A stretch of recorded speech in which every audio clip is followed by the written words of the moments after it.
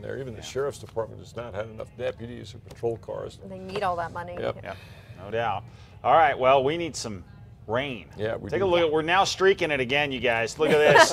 it is Oh is my boring. Yeah, how boring is it?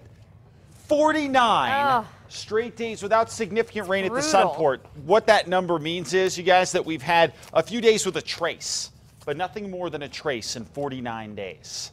That Didn't we get rough- rained out of a, a balloon fest today? I mean, rained out one morning, but that was at Balloon Fest, not the Sunport. Yeah. Well done, Dick. Well done. okay. Way to answer your own question. Yeah, Okay. it's, it, you're right. I mean that, but that was the last time up in the Heights. We got some Yeah. showers. about uh, a week before that, we got some rain down in or at the Sunport. So it's been a tough go. It looks like the end of next week we could start to change things. But you know how that goes. It's a ways off. 55 in the metro right now. East northeast winds three miles an hour, 30s, 40s, and some mid 50s around central sections. Down to the south, temperatures in the 50s for the most part, although a little warmer around areas like T or C. Now we are going to see a temperature dip for tomorrow as opposed to what we had today. Las Vegas we got up to 69, just 58 for tomorrow. Around Raton going to drop off 11 degrees for our high tomorrow. East central sections in Tucumcari, look out, we got to 83.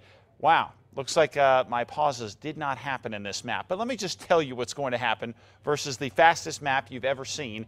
The temperatures, for the most part, around the four corners, going to be right around where they were today. But if you're along the east side of the state, we're looking at a 10 to 15 degree drop, a 5 degree drop here in central sections, and out to the west, 2 to 3 degree drop around Silver City, but not much in the four corners. And the reason this isn't real impressive is because the front that's coming in is rather shallow. It doesn't have a lot of cold air with it. So it goes ahead and knocks temperatures down a little bit in the east, 10 to 15 degrees, but not really statewide sweeping through. What we really tend to need to do that is a cold front with more depth to it and a cold front that either can roll over the mountains or squeeze through the mountain gaps. Well, this front isn't really in that category. So because it doesn't have a lot of depth to it, we'll end up seeing the east side of the state with most of the impact. The rest of us see a little bit of a temperature drop. Now, as far as showers go, not much. We're seeing a trough cross now, and that is going to provide at least the chance, even through tomorrow, at a quick shower across the southern tier of the state. But it's not going to be anything that's going to amount to a whole lot. So look for cooler conditions across New Mexico for tomorrow. Spot shower possible southeast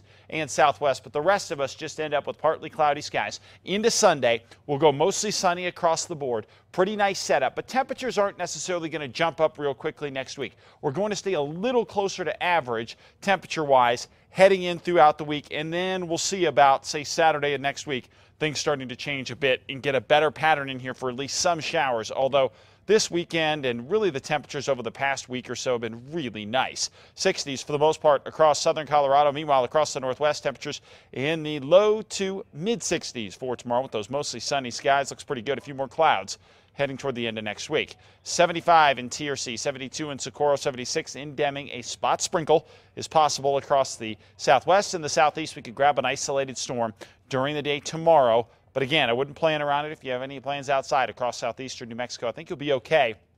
Hopefully you'll get a shower, but I don't think the chances are actually on your side. Uh, that chance is only around 10%. 65 conscious, 59 and more, and 65 in Santa Rosa. Meanwhile, Northern Mountains starting things off in the 20s, warming up into the 50s and 60s by later on in the day. Down into the East Mountains, temperatures in the low to mid 60s, partly cloudy and cooler. Meanwhile, here in the metro area, partly cloudy east winds, little gusty early in the day. So be aware that you could have breezy conditions early on, but you won't see as much wind later on in the day. Seven day forecast staying in the high 60s well into next week.